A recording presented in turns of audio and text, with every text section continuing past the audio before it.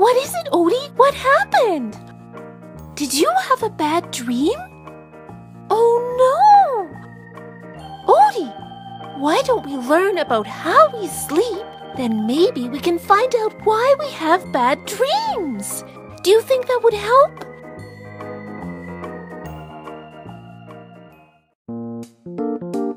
Most everybody dreams, and almost everyone has nightmares. Even adults. When we sleep, our brains are very active. Some scientists believe that our brains are just as active in our sleep than when we are awake. Throughout the night, the way that we sleep changes, moving from light sleep to deep sleep to light sleep again. This change is called a sleep cycle.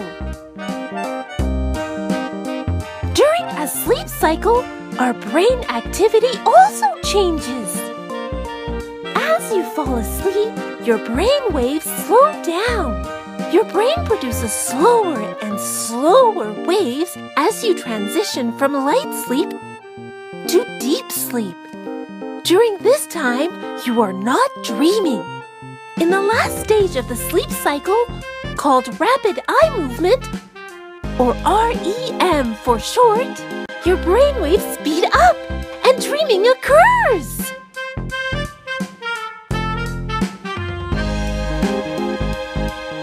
Why we dream is still a big mystery, and nightmares are bad dreams.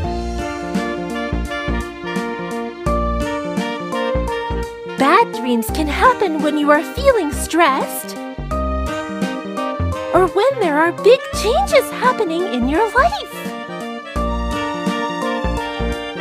Nightmares can also happen after watching a scary movie right before going to bed. It's important to remember that bad dreams can't hurt you, and it often helps to talk to someone about them.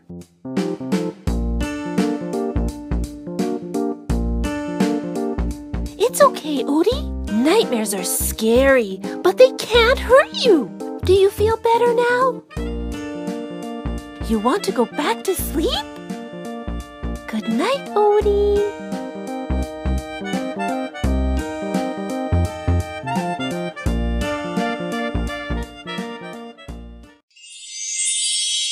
Odie's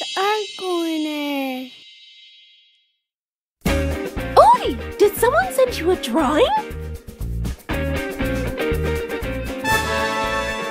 Wow, Odie! What a great drawing! Let's find out who it's from!